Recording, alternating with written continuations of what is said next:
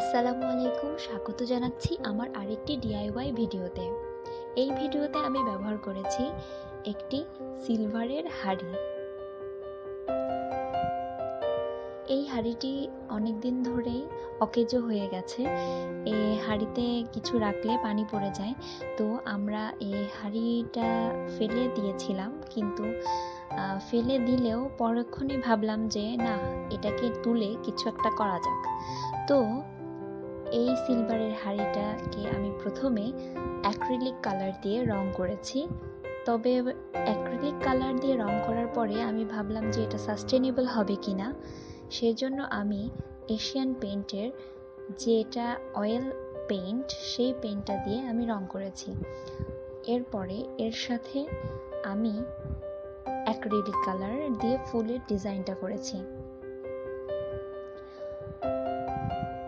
এরপর কিছু মাটি দিয়ে আমি এতে গাছ লাগিয়েছি। মানি প্ল্যান্ট আমার খুবই পছন্দ।